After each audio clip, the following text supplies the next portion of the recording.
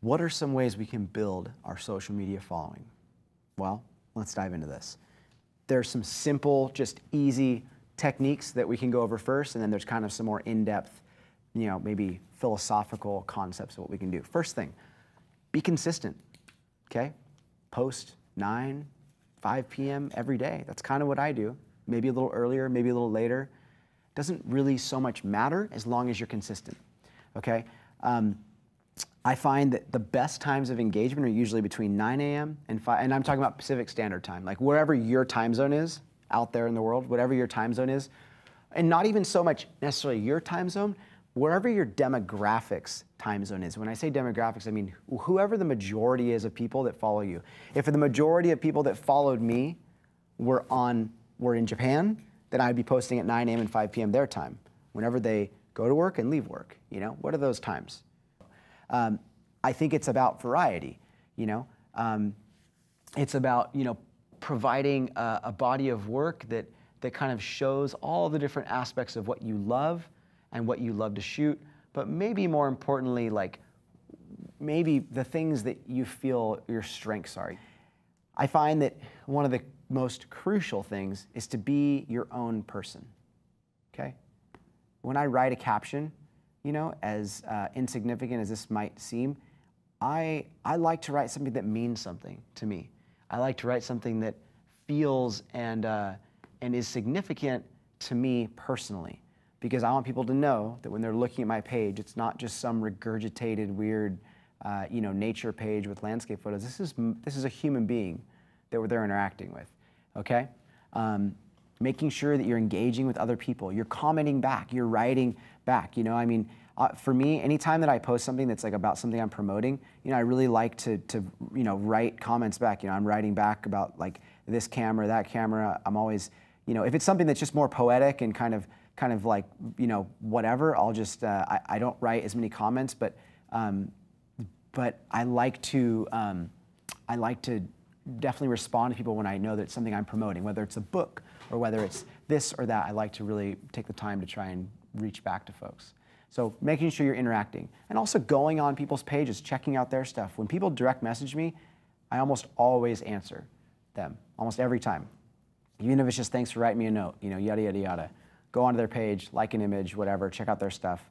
One of the best things you can do for social media is you can invite people along for the ride. Okay? Social media has broken down the doors of what it means to like you get a you get a look inside what someone's life is really like, right? So when you have the ability to go somewhere and make people feel like they're along for the ride, because they already are along for the ride, they're already watching your page and looking at your stuff, right? Um, you have the ability to take them on that experience with you, right? So it is it's super important, I think, to um, to basically have the ability to share content and to you know go out and and uh, invite people along for what you're doing. You know, it's it's a really great way I think to uh, to kind of just communicate and stuff like that.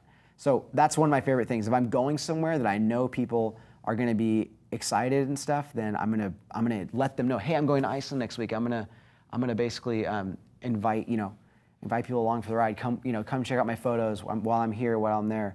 That's a really um, it's a really awesome way to do things. This is kind of the beauty of social media, you guys.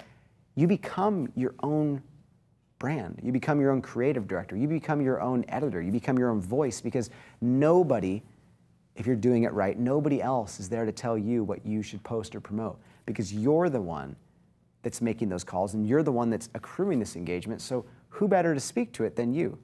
Who knows your demographic better than you? And if you've never met someone that has interacted with you on social media, then you're missing the ball. Because for me, meeting you guys and interacting, engaging, and seeing what your interests are and likes are, this is just as important to me because now I can take this information back and say, hey, so and so, well, you know, these are the types of people that are interested in my feed. So this is the types of this is the type of content I'm I'm comfortable promoting and selling, and the types of trips I'm you know willing to, to do on social media because I know that they would they would interact with it, right?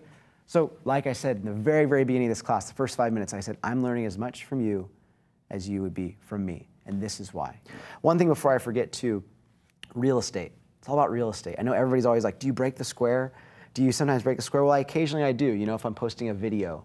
Um, or occasionally I do if there's a photograph that's super significant to me and I want to show or talk about why, you know, I did that, like this one. You know, I, I broke the square because I, I like the colors in it. Um, why do I usually post in a square? Well, it's their, their platform. You know, it's a square format. I'm just trying to fill the frame with as much color and as much vibrancy as I can. So it also looks extremely clean when you look through someone's feed and you see all this stuff. If you look through someone's feed and you see a bunch of kind of like cropped images here and there and a bunch of advertisements and text like that, then it's not unique. You know, and a couple weeks or days, I'll probably delete any image that has text on it because these images never get as good of engagement as a photo without text.